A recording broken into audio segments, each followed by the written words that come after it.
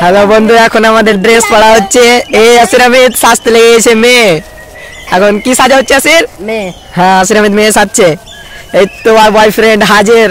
হাজের। Hello. Hello guys আমাদের ভিডিওতে চাই সাবস্ক্রাইব করো আর লাইক করো। এই তো সবাই সবাই সবাই আগে বলে দাও লাইক করতে বলে দাও ফ্রেন্ডদেরকে লাইক করো সাবস্ক্রাইব করো ফলো করো না ভুলে